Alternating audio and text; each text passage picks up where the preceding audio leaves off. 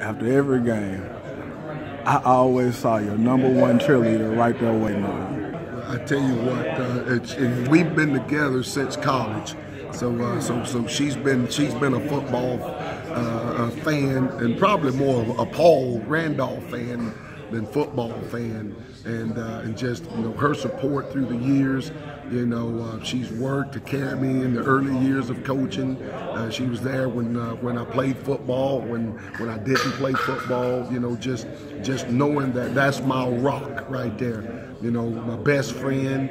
You know, all those things. When I look in her eyes, I know that she's expecting Big Daddy uh, to do his job. And uh, and so it, it, that motivates me just to see the twinkle in her eyes as she look at me with admiration.